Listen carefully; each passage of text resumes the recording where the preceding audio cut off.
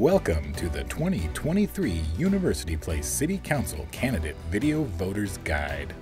Hi, my name is Stan Flemming. I am running for position six for the University Place City Council uh, for a re-election. For me, it has truly been a privilege to serve you these past four years on the City Council, being that voice for our citizens from all walks of life, uh, for our businesses that serve as the backbone for our community, as we battled our taxes and fees.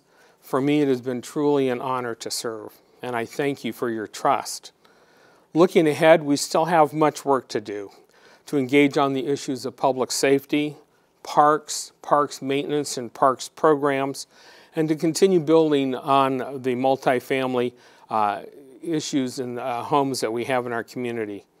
I continue to oppose the state's interference with our ability to self regulate our population density, and the permitting of business creep into our, our neighborhoods.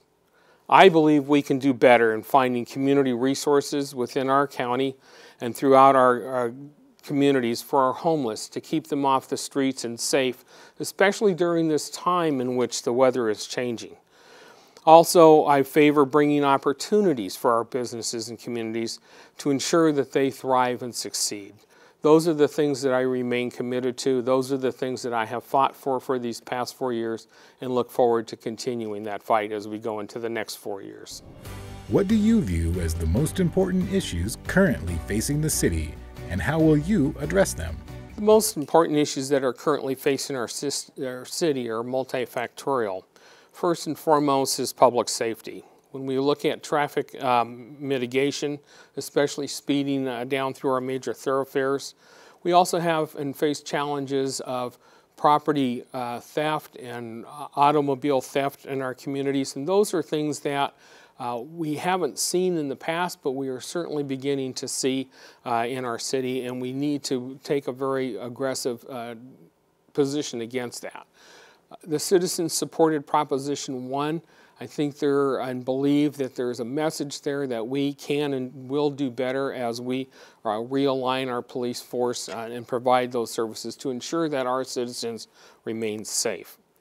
Bringing businesses uh, into our community is also a high priority. We've done a great job in fast foods. Now it's time to expand uh, that opportunity to bring in other restaurants within our communities. Uh, and lastly, or not lastly, but next would be our Parks and Rec program. It's what I ran on for my first four years of ensuring that we start looking at how do we bring recreation and opportunities in our parks that are just truly outstanding, not just for our youth, but for all citizens, including our adults. As I stated previously, keeping the state out of our business to self-regulate our growth and uh, population density I believe we can do that by working with our state legislators and our state association, the Association of Washington City, Cities. And if citizens hadn't noticed for the first time in the 20 to 25 years, we have tagging back in our community. I've been working and engaging our police chief to uh, identify those individuals who are destroying private and public property and to get rid of the tagging uh, and restoring some of the beauty that we have here in our communities. Those are the what I can see as our most important issues that are facing us right now. How do you believe the city and state should work together on implementing middle housing? Well, when you look at the term middle housing, I don't believe there is such a term, but I'm going to assume for the sake of this conversation that uh, we're referring to middle income housing and affordable housing. I believe, again, that the city and our citizens that live in our communities know best and how to meet uh, the requirements of creating opportunities for affordable housing. When we look at the uh, population densities that we have for present and future, again, uh, the state and its unfunded mandates really inhibits our ability to manage that when we look at uh, middle income housing, we need to look at what is the middle income of our families and individuals in our city, and then how to work with our developers and redevelopers in creating those housing opportunities so that we can have families um, who truly want to have a home in University Place and afford that home can do so. And I remain truly committed to working with our legislators, with our uh, developers, with the city uh, staff in creating those opportunities as we continue to build out the remaining areas of this city and redevelop some of the older areas uh, in our community uh, to keep it vibrant and uh, open for all citizens. What do you hope to accomplish as a city council member? There are four things that I would like to accomplish in my next uh, term as a city council member. Number one is I really want to continue to be that voice of the people against uh, growth, against uh, taxes and fees.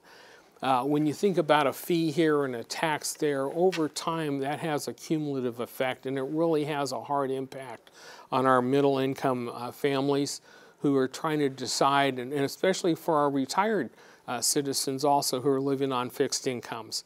They are being forced more and more to make those hard decisions of uh, do we put food on the table? Uh, do we keep gas in the car so we can go to work? Or do we keep a roof over our heads? And I think by working uh, collaboratively with our citizens to ensure that they have those opportunities to make those decisions and stay safe in our community.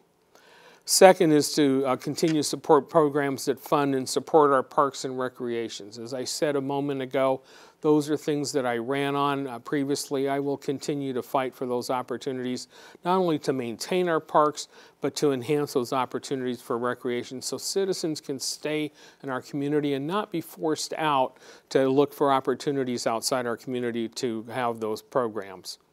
Number three is to continue support to public safety ensure that our community remains safe for all citizens.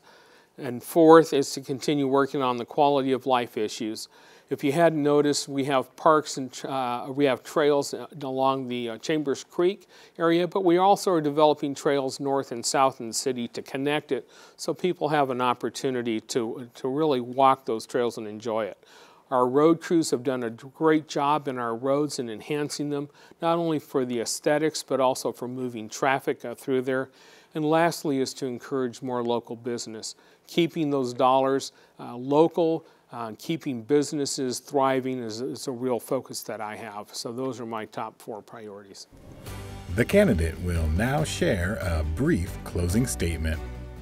Again, I just want to thank all of you for this opportunity to continue serving our community and the citizens that call this great city home. As a founding mayor of this city, it has always been my goal and commitment to ensure that our community is welcoming to all citizens from all walks of life, to ensure that it's safe, and to have the opportunity to recreate and to grow and live out their lives here in our wonderful community. Our city is about its people. As electeds, we should never forget that fact. I look forward to serving you for another four years, and I do ask you for your vote. And again, my name is Stan Flemming. I'm running for position six, and thank you for this opportunity to serve. Remember, Election Day is on Tuesday, November 7th, and the deadline to drop off your ballot is 8 p.m. Thanks for watching UP TV.